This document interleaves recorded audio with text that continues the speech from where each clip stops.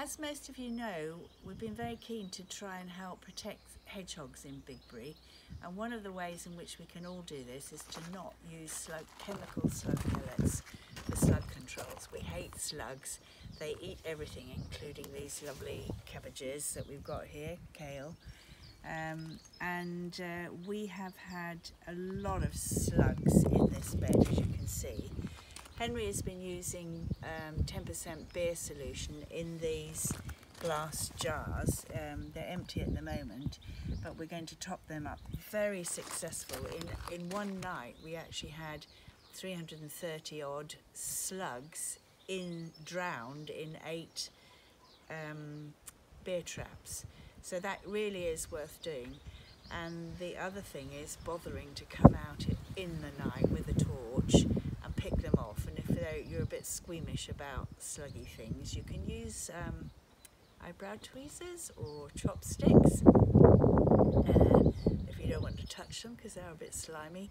But every one that you manage to collect or kill in a beer trap is hundreds and hundreds of babies that they can't have. So it's worth the effort.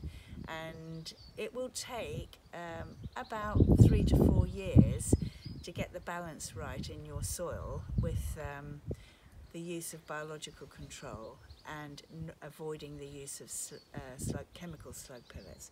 So the other thing that we're doing now is using this type of product which is um, a nematode specifically that kills slugs. It'll have some effect on snails but they are really so easy to see and pick off with your hands at night that I would use this really for slug control.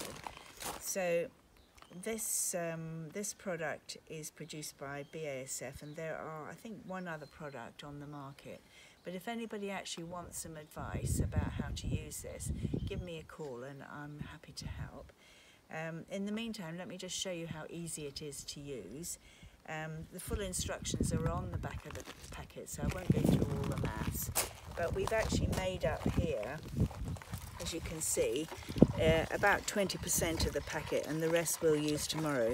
And you do have to keep it agitated um, so that the nematodes in the stock solution here don't settle out. So that is now fully agitated. And according to the instructions, uh, one, this is about uh, 500 mils of the agitated solution goes in half a watering can easy. And that's the same one that we're using for the uh, Yorkshire puddings, by the way. Uh, we'll wash it. Um, so here you go.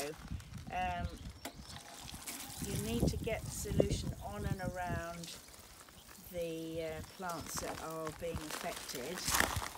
You can see it's pretty easy. Um, and these nematodes are tiny. You, you won't really be able to see them um, very well but they need to be in moist soil. So you'll notice that Henry's had the irrigation on beforehand.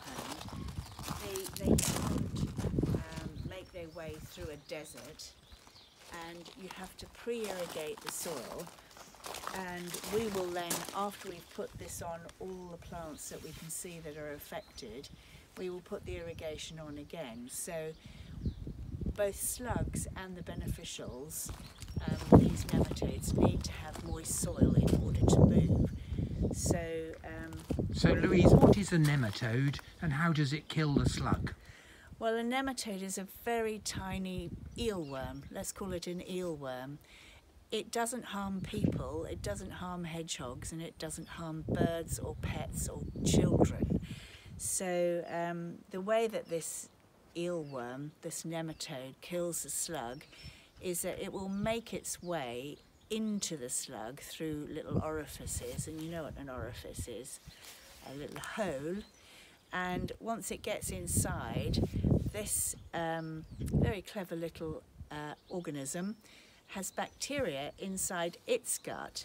And when it gets inside the slug, I hope you're not eating your dinner, but actually it will vomit out the bacteria that's in its gut into the body of the slug and then providing the temperatures are right above five degrees centigrade which is where we are now, we're fine now, um, it, those bacteria will reproduce and that slug will die from, let's call it septicemia. It, it will, it will actually um, die and that's what we want, dead slugs, isn't it? But we don't want dead, dead hedgehogs, so please don't use uh, chemical um, slug pellets.